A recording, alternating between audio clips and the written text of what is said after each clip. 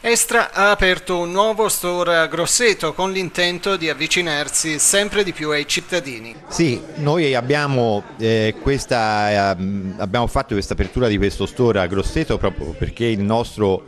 eh, ormai da qualche anno, il nostro orientamento è quello di avvicinarsi ai cittadini e ai nostri clienti, sia quelli attuali che quelli potenziali.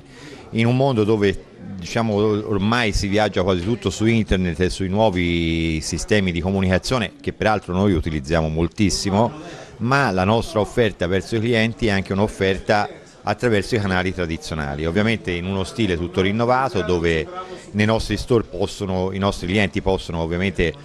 non solo discutere, parlare o cercare di modificare o di trovare soluzioni personalizzate per eh,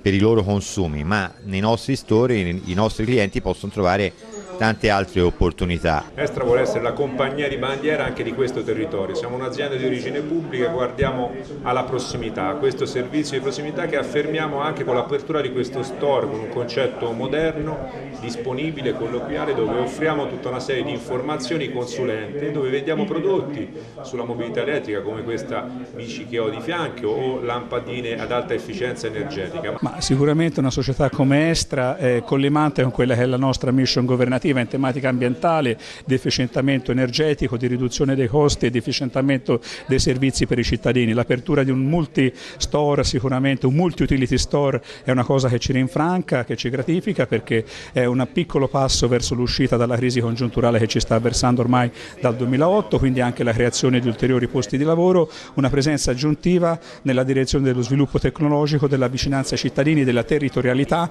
e quindi anche della nostra italianità.